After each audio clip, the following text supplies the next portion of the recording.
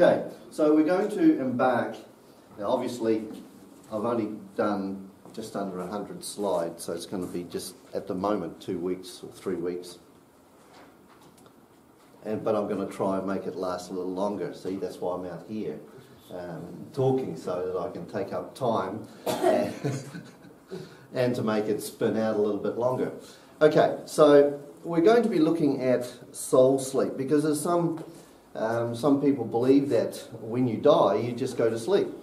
There are others who believe in annihilation, so that when you die, if you're not saved, you're annihilated. So there's no, uh, there's no hell, and, and um, so there's no um, stand up and, and be accountable for what um, you have to do.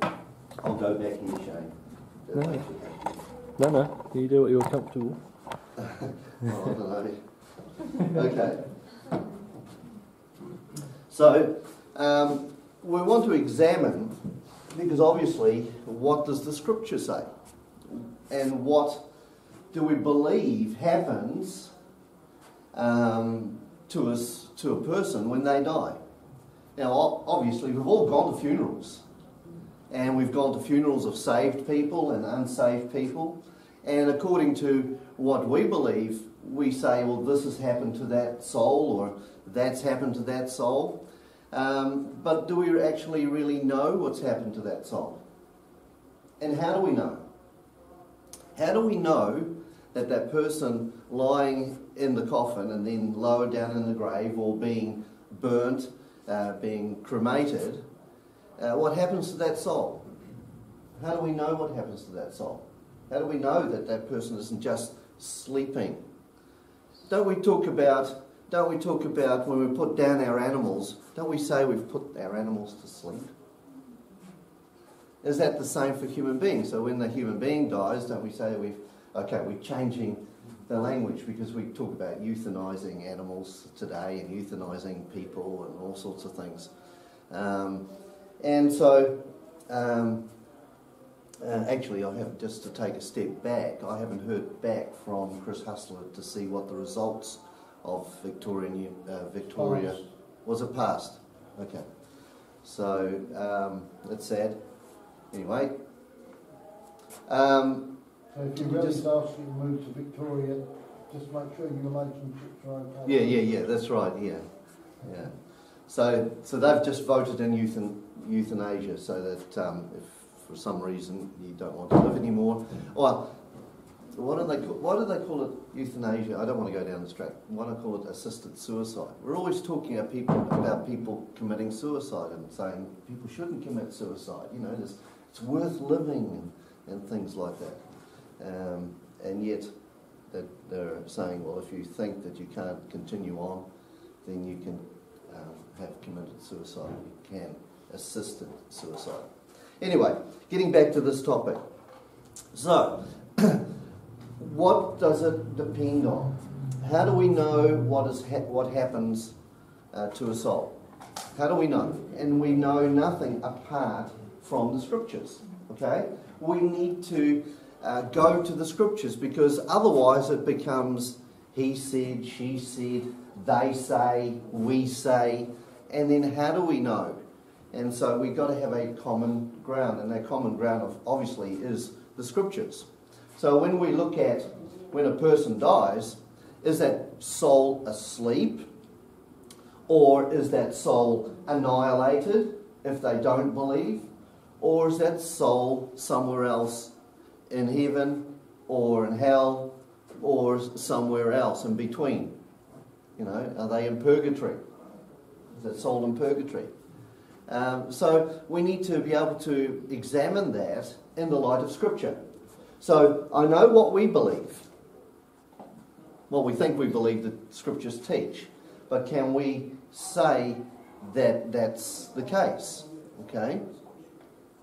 So we need to examine then that idea. We also need to look at how God created man and what is man in relationship to God. Okay? What is our relationship to God? What is any human being's relationship to God? And that relationship between God and man will then determine, and also determines what Scripture talks about when the Lord Jesus Christ died on the cross of Calvary. Did he die for, for souls that in the end that they would be annihilated? And when God, uh, when the Bible talks about heaven and hell, uh, what does that actually mean if a soul is annihilated? What does hell mean when a soul is annihilated? Um, and what happens to the soul uh, just sleeping in, in the grave? You know, is it just, oh, the Lord Jesus Christ has come back, I better, I'm awaked up, you know, um, and things like that. So we need to go and start really at the fundamental and look at God's pinnacle of creation, which is man. When you look in the mirror, who do you see? Yourself. And you think yourself as being unique, don't you? You, you look at the mirror, you look at yourself in the mirror, you think that you are unique, and you are.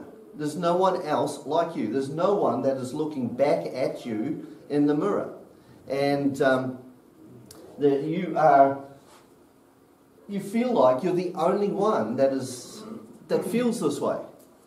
Okay, whatever, you know, the way you feel and the way you look and, and things like that. So you are a unique creation. When God created Adam and Eve, well, when God created Adam for a start, he put him into the garden. He had a relationship with Adam, a walking and a talking relationship with Adam.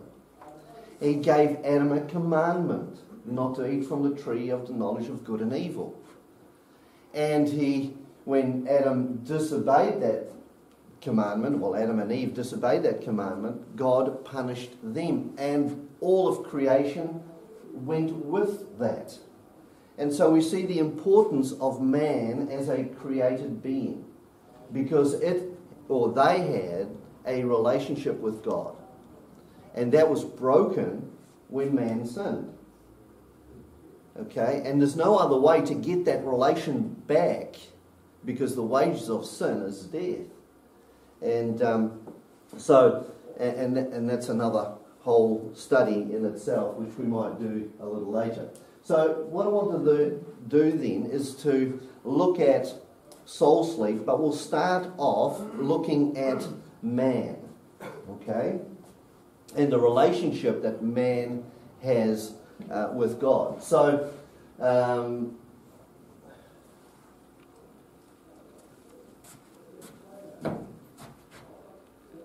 oh. It'll be one of those.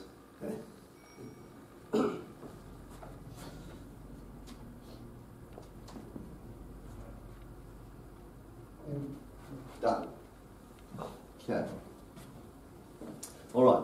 So, um, here's a, a cartoon taken from a Chick tract. Uh, he was a good man, but we all, but we are all as an unclean thing, and all our righteousnesses are as filthy rags, and we all do fade as a leaf, and our iniquities, like the wind, have taken us away. So we all know that eventually, if the Lord tarries is coming, we will die. At some point in time, you will be that person, won't you? I mean, no one lives forever. We've all, all known people who've died. Family members, um, just recently uh, celebrated my mother's first year of her death. Celebrated, I'll put that in quotation marks because it's not really a celebration, is it? Um, so we all know people who have died. And you're all going to end up in this position a horizontal position, or maybe cremated, but we don't promote cremation, but that's the way that the world is going today. Um, so there is a, a sense of what happens once you're in the grave. Okay, what happens to the soul? What happens to the soul? So man is created in God's image, right? The pinnacle of creation. Man is created in God's image. So let's go to Genesis chapter 1, verse 26.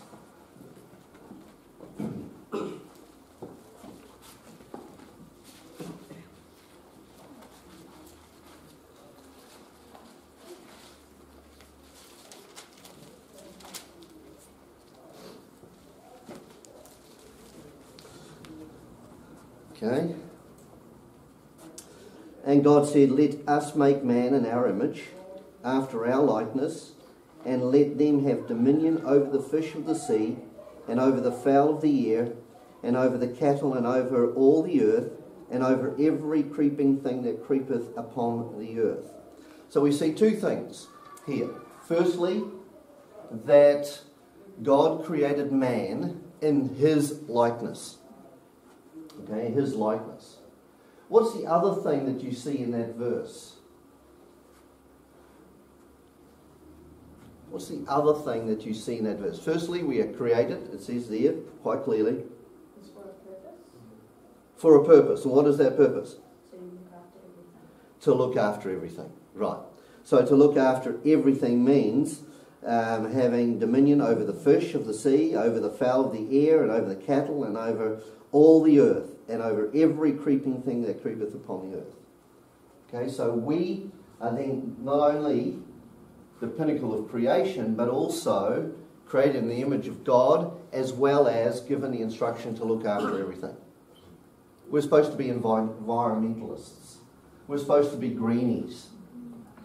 Okay, we're supposed to be greenies. We're supposed to look after the environment, but not to the extreme. All right? So we, we as Bible Christians are supposed to be greenies, but greenies are supposed to be Bible Christian. Correct. Correct. Yes, that's true. That's true. Okay, so um, the, of course the the um, environmentalists, the greenies, take it a step further and say, well, you can't eat meat and all those sort of things that they that they go into the extreme side of things. Just like Christianity, sometimes we go to the extreme, very fundamental independent Baptist type people, right over to the extreme liberalists. All right, um, but we're biblicists.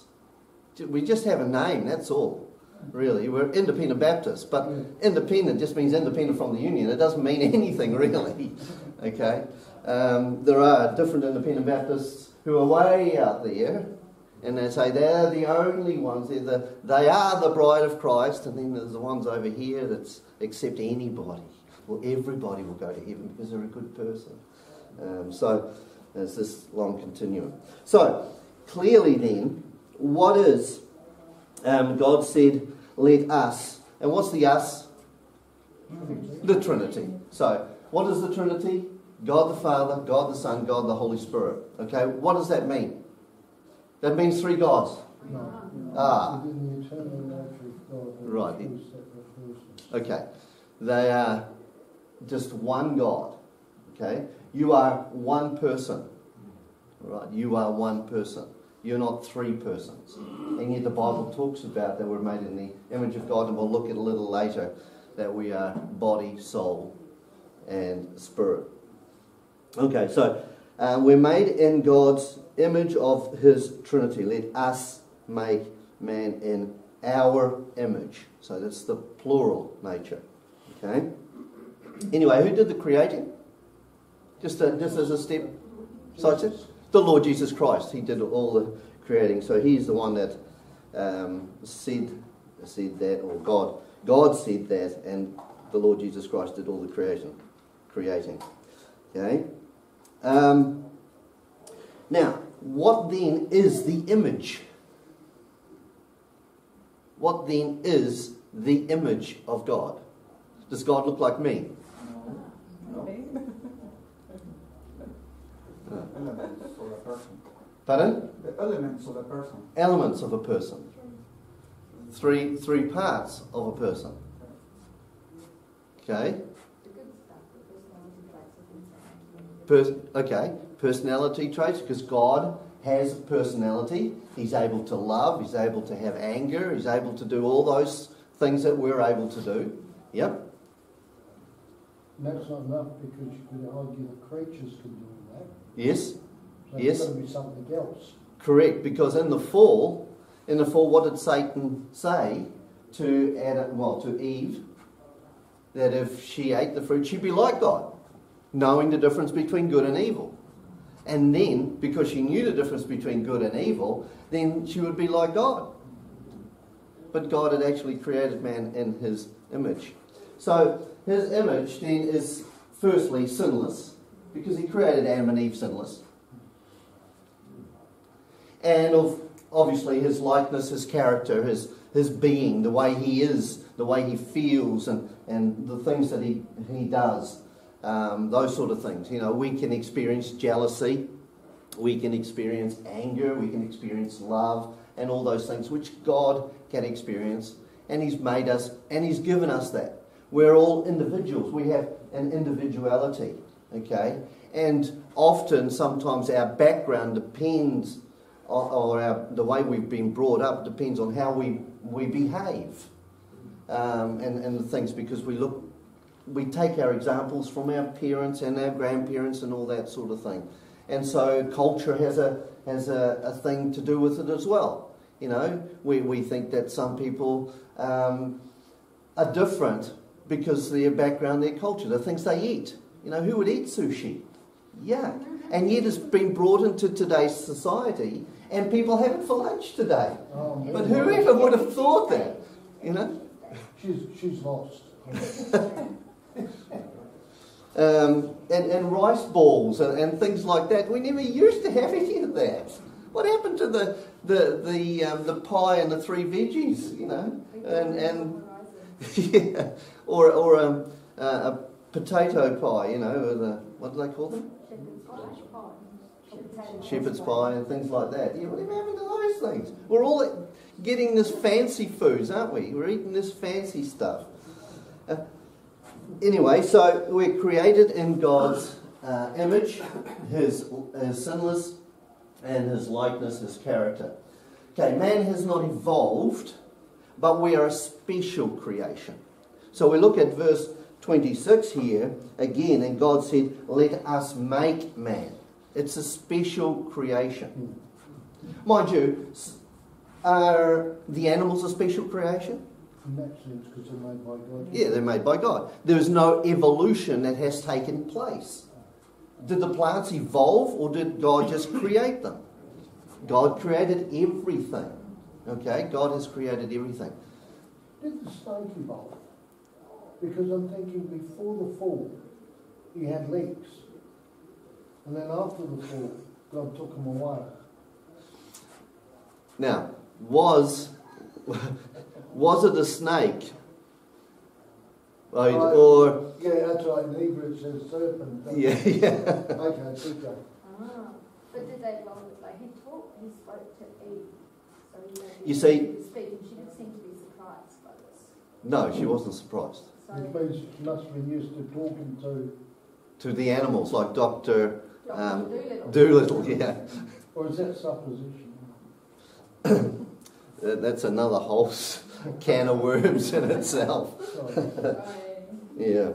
Um, anyway, when, when God said, "Don't put him on his belly, just it's just a, um, a punishment that he received, just like we received a punishment, or the you know we had to work for our living, Mm. um, and woman would have pain in childbearing. That's the punishment that continued on.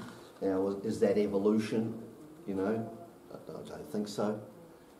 It's just a punishment. It's more of a devolution, isn't it? Like our souls became corrupted, therefore Yeah. we are. In that sense, the serpent became corrupt, corrupted, and from now on should crawl. Yes, that's right. So it's a corruption, not an evolution, isn't it? Yeah, yeah. So that he's lost something, and he doesn't speak now. Mm. Um, so in verse 27, it says, So God created man in his own image. In the image of God created he him. Male and female created he them. So he created male and female. So he didn't create a male and then because there was no other males, right? Then one of the males had to evolve into a female so that we could have male and female. Or the two males didn't able to reproduce. It's male and female. Okay? Um, so it was a special, special creation. And he created male and female. Male and female of everything. Or even some plants are male and female, aren't they? Isn't the kiwi fruit um, male and female? Don't you have to have two? Bananas aren't, are they? And vaginas are too. Yeah. Yeah, You can't actually make any fruit without a male and female plant. Yeah, so and passion fruit. Yeah. So there's a, quite a few things that are male and female um, plants as well. Okay. Um, but animals, obviously, male and female. So Christ did not die for the animals.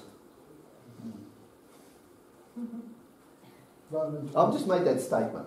Romans one, Tell it to my daughter. the whole world's groaning for the day of redemption. So Correct. The whole of creation is going to be redeemed. Correct. So in that sense, Christ died to redeem. Correct. Yeah, Yes. but he didn't die for them. Personally. Personally. No, okay. he didn't die for them personally. But you're absolutely right. They, like the fall, they fell and suffered death, pain, anguish, um, disease, just like man. Okay? So the, they fell with us. Because of us, they fell. And because of the redemption of Christ on the cross, they will also inherit that other, the reverse of it. Okay? So it's not because Christ died for them, it's because they will enjoy what we have, will inherit. They will come with us. And so that puts us at a, uh, a place in God's eyesight, in His creation, the pinnacle. Okay? Right at the top. We are very, very special. We are very special uh, to God. Salvation restores that image. So if we go to Ephesians,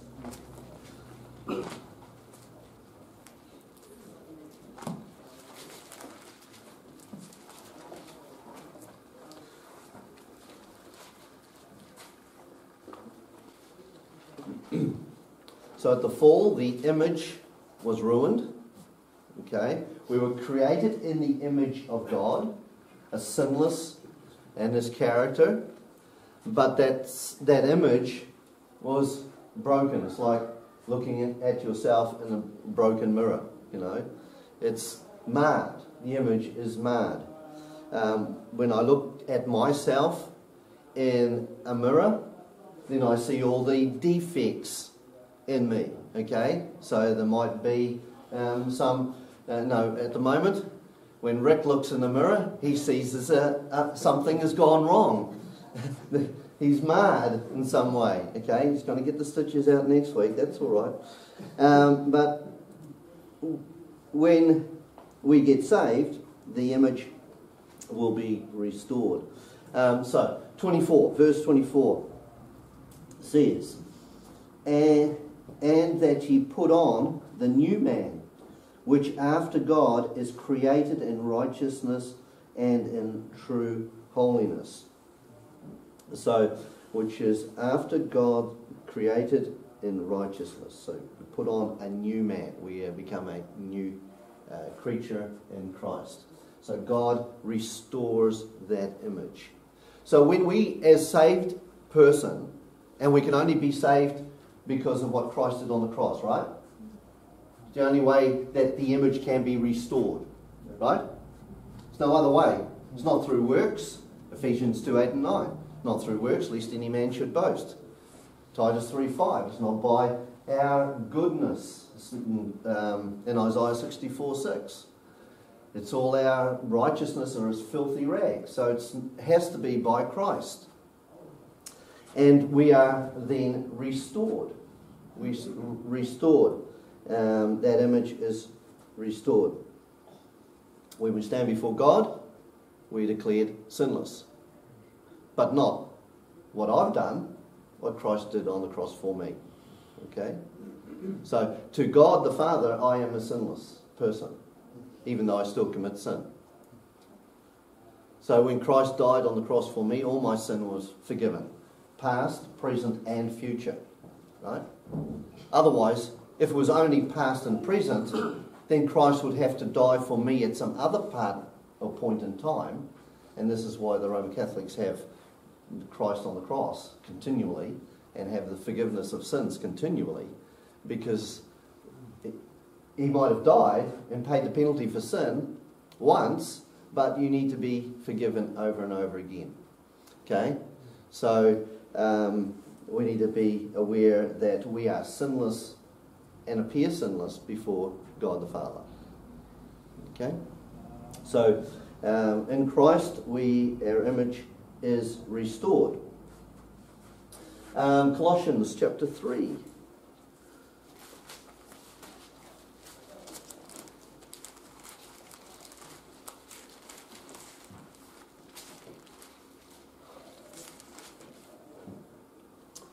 Uh, verse 10 and have put on the new man, which is renewed in knowledge after the image of him that created him.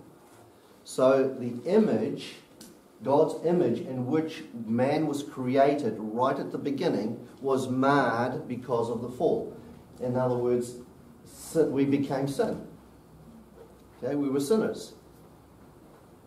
And uh, because God the Father, his image, is sinless, we were sinners. So that image was marred. And now we put on the new man. We are a new creation, basically recreated in his image because of what Christ did on the cross. There is no other way that we can receive or be recreated apart from God. Okay?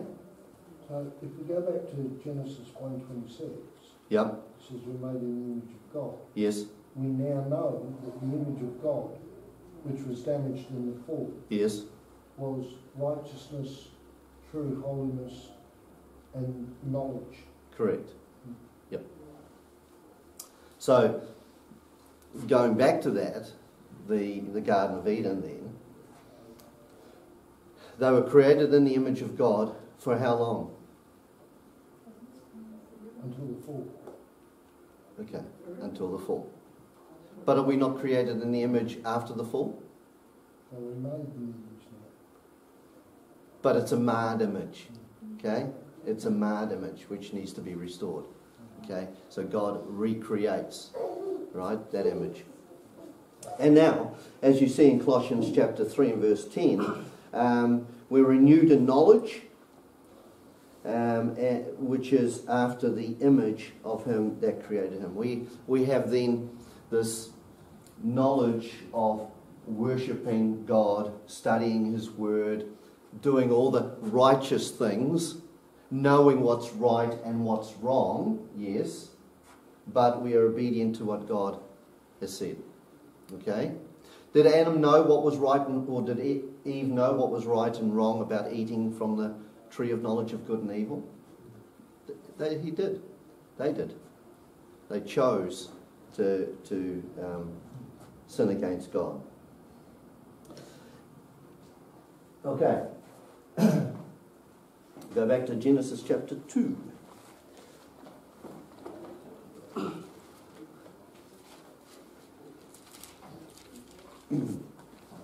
So remember where we're going with this. We're going to examine soul sleep, right? Or annihilation. Um, and we're starting off looking at man itself, the creation. Right? How important is it for us, or how important um, does God see man um, in his as He created us in His image? Verse seven. And the Lord God formed man of the dust of the ground, and breathed into his nostrils the breath of life, and man became a living soul.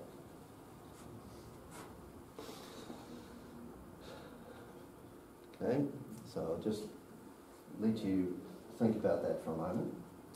God created man from the dust of the earth, and he breathed in him life. Man became a living soul. So, what you see in yourself and every other human being is a living soul. Right? So, when you see me stand here, I'm a living soul. I have life. I'm alive. I'm a living soul. Okay, so the soul is what? So life, the living. Every, everything, you're right. So when I'm looking in the mirror or when I'm doing things, I'm just using this body. I'm inside this body. Okay? So, because God created the body out of the earth, and when someone dies, what do they normally say at the graveside? Dust to dust. Well, the Bible doesn't say ashes to ashes, but we just sort of. No. but dust to dust. You're going to return back to the dust. All right? Yeah, yeah. Some people are eternal smokers. Mm.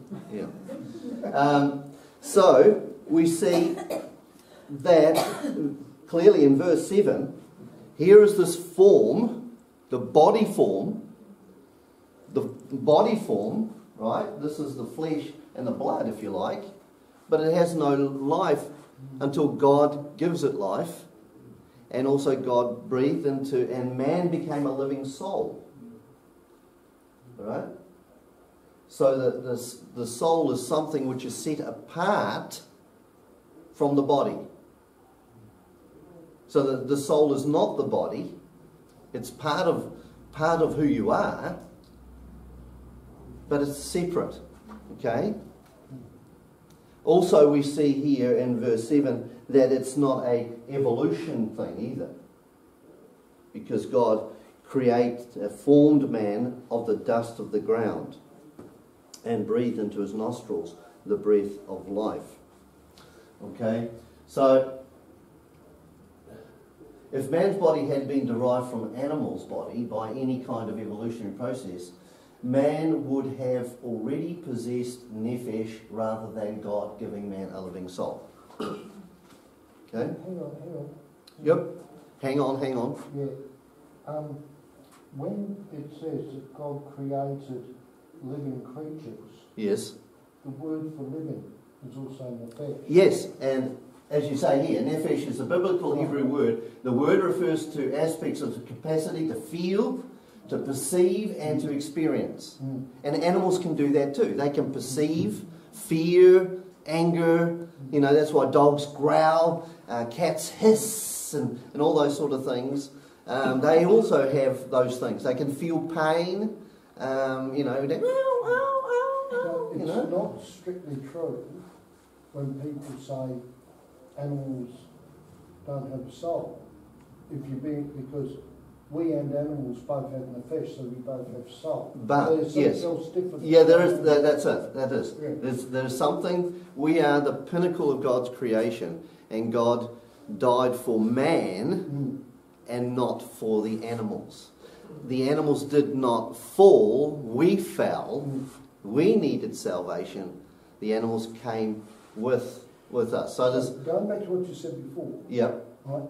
We and the animals are both soulish, Yes. but only we are created after the image of God Yes. in righteousness, holiness, Yes. and knowledge. And there are some things which animals can't do Mm. that we do. Okay?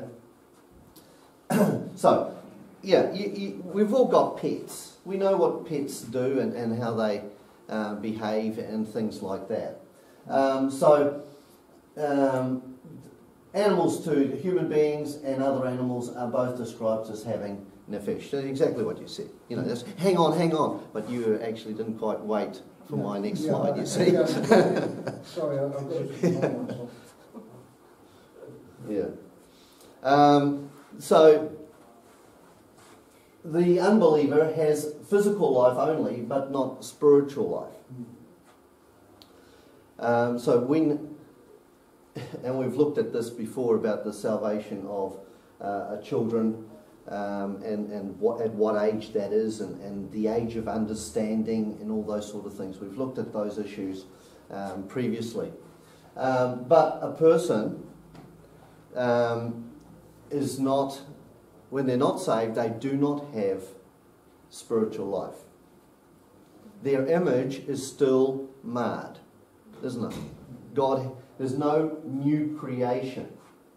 God hasn't recreated that image into that sinless image that he is. Um, so Ephesians 2.1, we'll need to finish on that. and we'll pick it up again next week.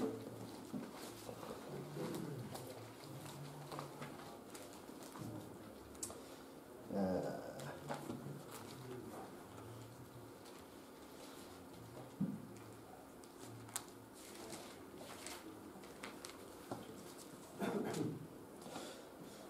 And you hath he quickened, or what's another word for quickened? Made alive, who were dead in trespasses and sin and sins. So the wages of sin is death. Okay? The wages of sin is death. But the gift of God is eternal life through Jesus Christ our Lord. And so God has quickened you or made you alive. And so even though a person is alive, they are spiritually dead. Their image is marred. And just like a marred pot or a cracked pot, as a potter makes this pot and it's puts it into the, the oven and it cracks, what does he do with it? Throws it out. It's no good for anything. It's no good for anything. Or it's like a, a baker who makes biscuits and, and burns them. What do you what's what do you do with them? Um, you know, the Belgian biscuits that Nana used to make. What did she do with them? Throw them under the hedge. They weren't any good. You couldn't eat them. Um, the shops they sell seconds biscuits. You know, cracked biscuits and pieces of biscuits and all those sort of things. At uh, was it two dollars a bag or something like that? At um, at um, what Baker Boys. That's right, Baker Boys. Um, things like that. So we are dead before we're saved. The image, the sinless image, is marred, is marred. Um, Romans 6.23, the wage of sin is death. Uh, 1 John 5.12.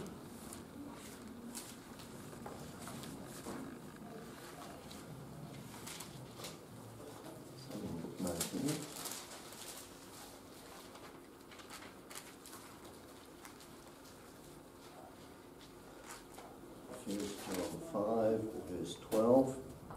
He that hath the Son hath life, and he that hath not the Son of God hath not life. Okay? So, you might be alive, but you, to God you're dead. And what do you do with things? Rubbish? Burn it. Throw it out, burn it. What happens to the soul who rejects Christ, who is dead? Throws it out, burns it. Um, anyway, we'll, we'll pick up a little bit more on that because remember where we're going with it. We're going to, to soul sleep. Is soul sleep or annihilation? Or is it something else? Okay, we'll look at that in, in the next few weeks. Hopefully, I think this, yeah, that's, right. There we're going to look at the three bits of man. So let's close the word of prayer and then we'll pick it up again next week.